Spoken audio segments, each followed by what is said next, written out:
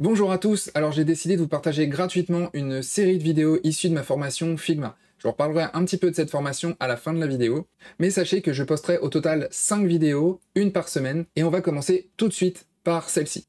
On va donc créer un loader animé avec une sorte d'effet de liquide qui remonte au fur et à mesure du chargement de la page.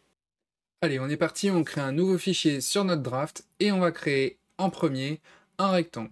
Alors ce rectangle, je vais lui donner une taille quelconque, on va mettre 800 pixels ici.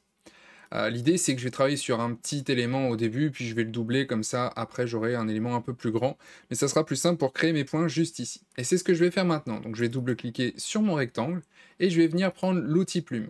Et je vais avoir des points qui vont apparaître comme ceci, au centre à chaque fois, j'ai juste à cliquer dessus, et je fais échappe, et puis je vais faire ça à chaque fois, ça va me permettre de bien mettre mes points au milieu.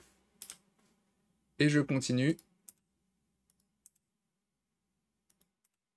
Donc je clique, alors là je me suis trompé, pas grave, je fais CTRL Z, je clique, échappe, et je reclique, échappe. Je vais venir sélectionner mes éléments, donc je reprends mon outil de sélection avec la touche V où je vais juste ici. Je sélectionne et je maintiens Shift à chaque fois. Donc je vais maintenir Shift pour sélectionner mes différents points. L'idée c'est que je vais les faire remonter juste en haut. Et pareil, je vais maintenir la touche Shift pour bien rester droit. Et je vais essayer d'obtenir la forme pour mes vagues. Donc on va dire qu'ici c'est pas mal c'est OK, je fais done. Donc ici, on pourrait s'arrêter. Moi, je vais doubler cet élément-là. Euh, ça va me permettre d'avoir plus de flexibilité pour mon animation si elle ne me plaît pas, que je veux que les, vagues aillent plus vite ou pas, etc. Je duplique donc. Hop, en faisant Alt et en cliquant sur mon élément et en le glissant tout simplement. Et je vais venir les joindre puisque je veux que ça soit quand même qu'un seul élément. Et je clique sur le bouton ici, Union.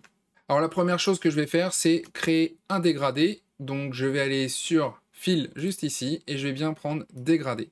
Et on va essayer de donner une couleur euh, bleue un peu plus foncée en bas. Donc euh, bah, pour l'instant je suis en haut, donc je vais donner la, couleur là plus claire. Donc je vais aller plus vers du bleu comme ceci. Et ici je mets bien la transparence.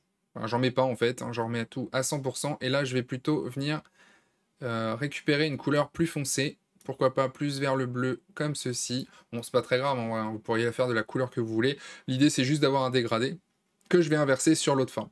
Donc là, on va dire que c'est bien. Au pire, je reviendrai dessus si ça me plaît pas. J'ai oublié une chose, évidemment, c'est que mes vagues, j'ai pas envie qu'elles soient droites comme ça, donc je vais venir arrondir.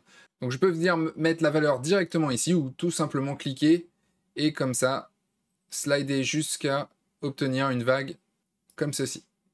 Donc je slide vers la droite. J'ai donc mon dégradé, j'ai ma vague, je vais dupliquer cette vague, donc je vais faire encore Alt et glisser mon élément juste au-dessus.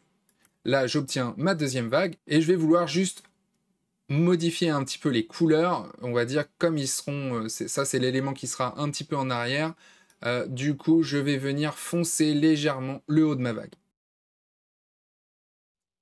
Ok, alors là mon élément j'imagine qui va être en dessous, donc c'est pas grave, je fais clic droit, bring to front, et elle repasse au-dessus. Et l'idée, ça serait d'avoir approximativement des vagues comme ceci. Je vais peut-être même éclaircir légèrement ici.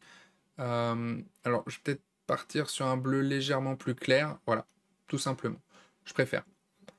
Ok, donc euh, vraiment les couleurs, c'est juste pour la démonstration. C'est pas super important. Vous pouvez mettre du orange, vous pouvez mettre les couleurs que vous voulez.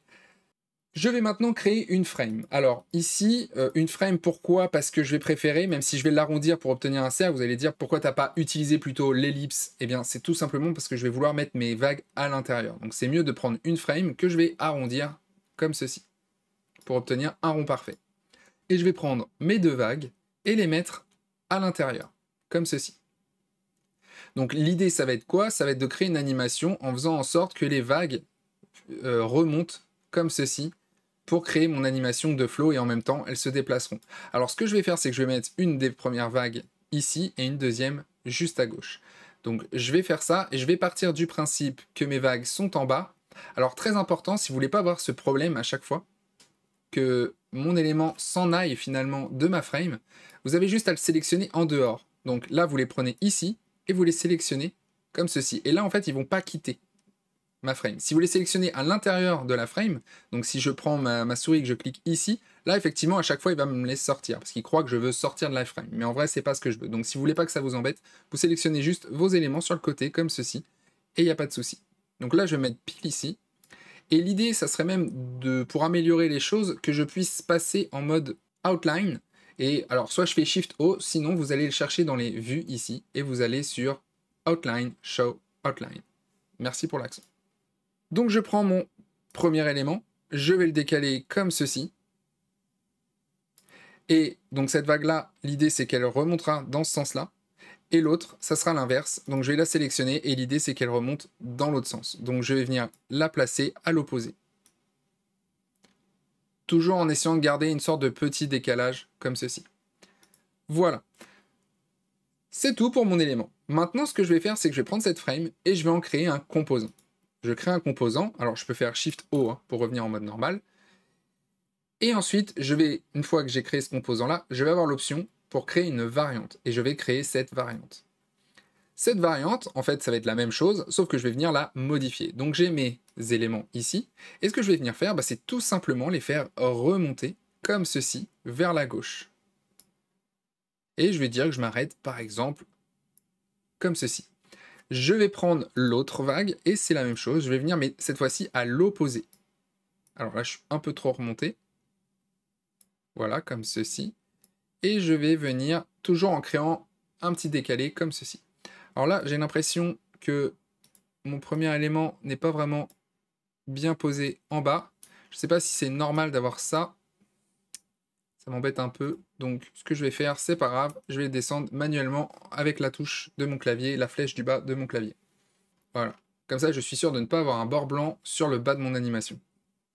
Et voilà, en, vrai, j'ai envie de dire, on a fait le plus dur. Maintenant, ce qu'on va faire, c'est créer notre animation. Donc, on va prendre notre élément, on va aller dans le prototype. Et ce que je vais faire, c'est en ayant bien sélectionné cet élément-là, soit je crée une interaction ici, soit je viens tout simplement prendre le petit plus qui est juste ici et venir le glisser avec une flèche. Alors attention, pas sur la vague, bien sûr l'élément ici qui est mon autre variant. De toute façon, je vais le voir ici j'ai change to, hein, puisque je suis sûr, c'est pas un navigate to comme vous pouvez peut-être avoir l'habitude dans Figma. Là, c'est change to parce que je suis dans un variant. Donc en fait, c'est juste changer la forme. En fait, je vais passer du variant par défaut au variant 2. Donc là, vous pouvez contrôler si c'est bien le variant 2. Ce que je vais vouloir, c'est after delay, puisque je veux que mon animation se déclenche aussitôt. Et évidemment, je ne peux pas mettre un délai de 0 secondes. Donc si je mets un délai de 0 secondes, tout simplement, il va mettre une milliseconde. Donc je mets une milliseconde, c'est pas grave. Ensuite, je fais un Smart Animate pour qu'il calcule automatiquement. Et je vais mettre un peu plus que 300 millisecondes, sinon ça va aller très vite. Je vais mettre 3000, donc ça va correspondre à 3 secondes. Et je peux laisser le Ease Out, ça peut faire un effet sympa. Pour contrôler mon animation, je vais avoir besoin d'une frame, donc je vais créer une frame juste ici, hein, donc avec la touche F. Je vais maintenir Shift pour faire un carré parfait. Et je vais venir prendre mon élément et le dupliquer. Donc je vais le sélectionner, je reste appuyé sur la touche Alt et je le fais glisser. Ensuite, eh bien, je vais faire ma petite preview et on va regarder ce que ça donne.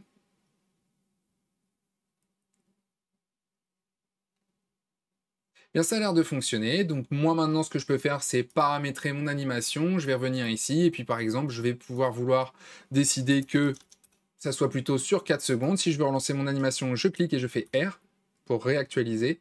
Et là, peut-être que l'animation de manière un petit peu plus lente est plus sympa. Elle me convient mieux et c'est OK. Voilà, et maintenant, il vous reste plus qu'à trouver les réglages qui vous conviennent le mieux. Voilà, la vidéo est terminée. Alors comme je l'ai dit précédemment, cette vidéo était issue de ma formation sur Figma. Alors si vous voulez me soutenir, je vous ai mis un lien dans la description, un petit coupon de réduction. Mais sachez que vous n'êtes pas obligé, je partage très régulièrement du contenu gratuit sur ma chaîne YouTube. Et si vous voulez me soutenir gratuitement, vous pouvez aussi en simplement likant et commentant cette vidéo. Ça fait également plaisir et je vous remercie. En attendant, je vous dis à la prochaine, portez-vous bien.